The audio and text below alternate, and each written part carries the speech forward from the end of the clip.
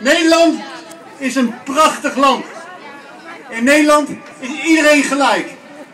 Vrouwen hebben gelijke rechten en zijn geëmancipeerd. Homoseksuelen participeren volledig in de samenleving. Wij zorgen voor hen die hulp nodig hebben. Mensen geven om elkaar. En dat is niet overal op de wereld zo. En dat was niet altijd zo in het verleden. Nederland heeft wat bereikt. Nederland is een land om trots op te zijn. Mensenrechten vormen het morele kompas waardoor iedereen het er doet. We leven in een ongekende welvaart. We hebben een ongekende grote vrijheid. Die vrijheid moeten wij koesteren. In korte tijd zijn wij als samenleving in geslaagd om de cirkel van onze moraal te, steeds te vergroten. Kinderen, vrouwen, immigranten, gehandicapten, hulpbehoevende bejaarden, hun belangen worden erkend. Hen worden rechten toegekend. Als samenleving garanderen wij ieders vrijheid. Voorzien wij zorg waar nodig. En natuurlijk, het kan altijd beter. Dat is waar de politiek over gaat. Maar het kan fundamenteel beter. Want hoe weten wij of we iedereen in onze morele club hebben gesloten? Hebben wij geen morele blinde vlekken? Jazeker, dieren. Er wonen in dit land niet alleen 17 miljoen mensen, maar ook nog eens zo'n 450 miljoen dieren in de intensieve veehouderij. Voor wie het leven een stuk minder plezant is dan voor die 17 miljoen mensen. En als wij ons als samenleving kunnen bekommeren om bejaarden, mentaal gehandicapten, baby's en zelfs toekomstige generaties, dan kunnen we ons toch ook om dieren bekommeren. Mensen houden van dieren. Mensen sluiten dieren in hun hart. Huisdieren maken vaak deel uit van de familie. Niemand wil vreed zijn en gemeen zijn tegen dieren. Wij leren onze kinderen niet vreed te zijn tegen dieren. Maar er is iets vreemds gebeurd in dit land. Iets wat niemand wil en het toch is. De intensieve veehouderij. Waar dieren op grote schaal pijn worden gedaan. Dit moet toch een vergissing zijn? Niemand wil toch een dierenbul zijn? Niemand wil toch vreed zijn? We hebben laten zien dat we empathisch kunnen zijn. Tegenover iedereen. Zelfs gevangenen behandelen wij humaan. Kunnen wij dan ook niet humaan zijn tegenover dieren? En humaan zijn tegen dieren betekent niet dat wij een hokken iets groter moeten maken. Zoals we allemaal afkeurend zouden zijn wanneer mensen zouden voorstellen om slaven humaan te behandelen en slaven humaan te doden. Zo hebben de dieren die wij creëren ook weinig aan een humane slag. Humaan zijn tegenover dieren betekent dat wij hen niet instrumenteel behandelen. We hebben laten zien dat we het kunnen. Mededogen hebben met mensen die anders zijn dan wij. Wij kunnen ons inleveren in het leed van anderen. En dat is waar het om gaat. Het vermogen tot lijden. De mens is niet het enige dier dat kan lijden. En iedereen weet toch dat dieren pijn kunnen lijden. Dat herkennen wij instinctmatig. Zoals we de pijn bij een ander dier kunnen herkennen. Lijden is het fundament van de moraal. Mededogen betekent dat we het leed van anderen erkennen en trachten te verzachten en te voorkomen. Mensen, we kunnen het. We hebben het laten zien. We zijn in staat tot mededogen. Laten we onze morele, uh, morele cirkel verder uitbreiden en ook dieren in ons hart sluiten. Gandhi zei eens, het morele karakter van een samenleving wordt bepaald door hoe er met dieren wordt omgegaan. En vanuit het perspectief is ons land niet bepaald beschaafd te noemen. De manier waarop wij, ondanks alle mooie woorden, met dieren omgaan, is een schandvlek op onze verheven morele idealen. Toch is het heel wel mogelijk een fatsoenlijke samenleving te creëren. Een samenleving zonder geïnstitutionaliseerd dierenleed. Het fijnsen van onwetendheid over de afschuwelijke werkelijkheid van de intensieve veehouderij, maar ook de visserij, dierproeven, bond. Het kan niet meer. Sommige dingen mag je niet, niet weten. Het mooie is dat wij dieren en dierlijke producten als vlees, leer, zuivel en melk niet nodig hebben voor een gezond en aangenaam leven. We kunnen zonder. Het, het vereist een mentaliteitsomslag, maar mensen kunnen veranderen. We kunnen van slechte gewoontes af. En vrijheid wil zeggen leven zonder andere schade te berokkenen. Maar wie zijn die anderen? alle wezens te kunnen leiden. Vrijheid wil dus zeggen het leven zonder andere mensen en dieren onnodig schade te brokkenen. Nederland is een prachtig land.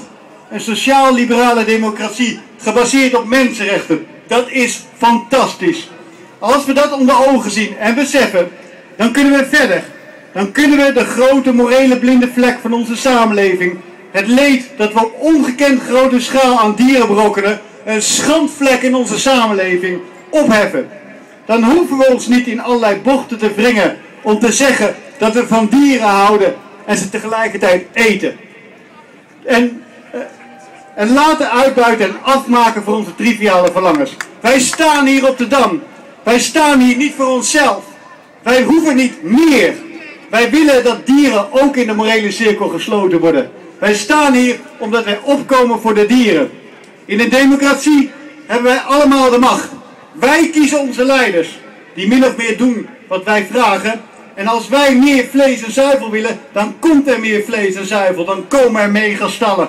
En als wij het mega zat zijn, en dat zijn wij, als wij dieren in onze moraal willen sluiten, omdat dieren net als wij kunnen lijden en een diepe levensdrang hebben, dan heeft iedereen de macht, vandaag nog, hier en nu, om de morele blinde vlek in onze samenleving, in ons eigen handelen te erkennen.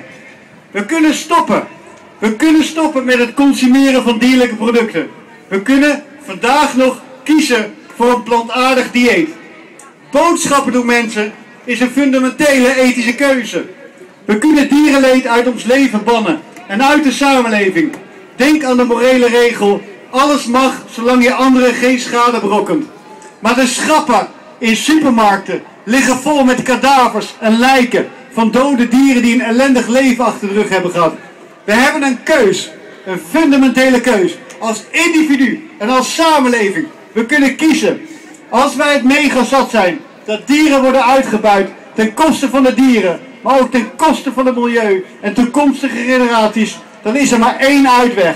Er is een morele plicht tot een plantaardig dieet, een morele plicht tot veganisme. Nederland heeft het inzicht om een gidsland te blijven. Wij kunnen andere landen laten zien dat wij mededogen koesteren voor allen die kunnen lijden. Veganisme is geen hobby of mode, maar een morele plicht. Zoals het verboden is om mensen uit te buiten, zo zou, de, zou het verboden moeten zijn om dieren uit te buiten. Wij moeten daarom niet alleen af van de megastallen, de intensieve veehouderij, maar van alle vormen van het uitbuiten, onderdrukken van dieren voor onze belangen. Het,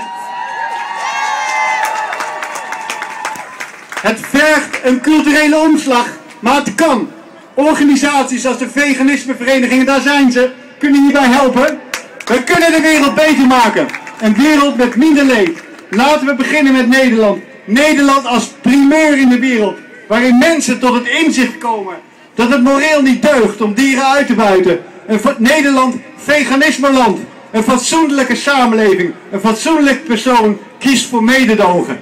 En ik doe nu tot slot een directe oproep. Niet voor mijzelf, maar voor de dieren. Ik smeek jullie, namens hen die geen stem hebben, maar wel belangen. Ik smeek jullie aan de veetelers. Stop ermee. Kies een beroep waarmee anderen geen leed berokkent. Aan de winkeliers. Stop ermee met kadavers en dierenleed te verkopen. Aan restauranthouders en hotdogstands. Stop ermee met het aanprijzen en opdienen van dode en gemartelde dieren. Aan, aan de dierenartsen. Aan de dierenartsen. Zet je hier eens in voor het welzijn van het individuele dier. En stop met de steun aan de veehouderijen en de fokkerijen. Aan de schoenwinkeliers. Aan de schoenwinkeliers. Stop met het verkopen van de huid van dode dieren. Verruim je blik en zoek dier, mens en milieuvriendelijke alternatieven. Maar, maar ook de wetenschappers. Die wetenschappers. Stop met de dierproeven. Stop met het onderzoek naar de veeteelt. Doe onderzoek naar duurzame veganistische permacultuur. En aan de, aan de politici. Luister naar je geweten. Heb mededogen. Geef dieren rechten. Schaf de veehouderij af en durf groot te zijn. Aan de grote bedrijven die economisch baat hebben bij de uitbuiting van dieren, zoals Friesland Campina. Heb mededogen en sluit de deuren. heb fatsoen. En aan de modeontwerpers, kies voor mode zonder leed. Weg met die bontkragen. En als... En, tot slot, dames en heren, tot slot, aan jullie allemaal. En niet alleen op het plein, maar in deze hele stad, dit hele land, in Europa en in heel de wereld. Aan jullie allemaal, iedereen allemaal, heb mededogen. Streef naar een leven zonder anderen te schaden. Stop met het eten en gebruiken van vlees en van dieren. Wees fatsoenlijk. Go live. Go vegan. Dankjewel, Floris van den Berg. Dat is je goed, hè? Echt eh, de meest activistische filosoof die ik ooit heb gehoord of gezien. Ik moet wel heel erg denken, ik geef les eh, in de Bijlmer.